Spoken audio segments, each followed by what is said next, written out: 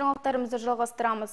Түркістан қауіпсіз қалаға айналып келеді. Себебі шаһардағы жол ережесі мен қоғамдық тәртіпті қадағалайтын бейне бақылау камераларының саны артқан. Өткен екі айдың ішінде қалаға 43 камера орнатылған. Олардың ішінде қоғамдық тәртіпті бақылайтындар мен көшедегі көлік қозғалысын қадағалайтындары да бар. Қондырғылар жол ережесін бұзған жүргізушілермен қатар қауіпсіздікті қатаңдап, қылмыстың ашылуына да септігін тигізуде.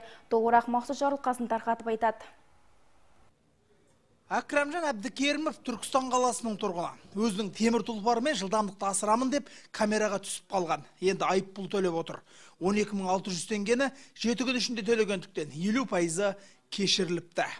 правиланы өзіміз бұзамыз движение бұзбасаң бұл нәрсе жоқ повороттар жақпай бұрылатын еді қазір олардың бәрі жоқ барлығы правила бойынша жүріп жатырмыз пешеходтарға тоқтаймыз адам түскен кезде пешеходқа бұрын ондай жоқ еді қазір енді барлығы заңды болып жатыр заңды бұзбау үшін әрекет жасаймыз енді өзімізде Қазір қалада құқық бұзушылықты автоматты түрде анықтайтын 43 камера жұмыс істейді.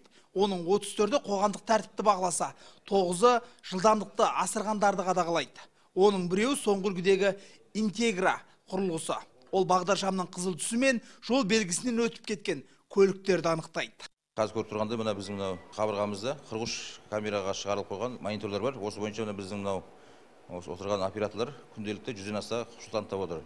Қала бойынша қоғамдық тәртіп болсын жол қауіпсіздігі болсын қылмыс орын жағдайда бұлар да қарап отырады. Сол қылмыскердің қайда кеткенін осы мониторын бақылап жолын қарап отырады да тиісті патрульдік бағыттарға немесе жаяу бағыттарға өзінің бағдарларын нұсқаулар беріп отырады.